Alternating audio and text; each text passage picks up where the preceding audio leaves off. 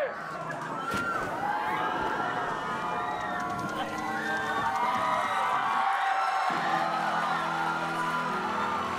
Héctor,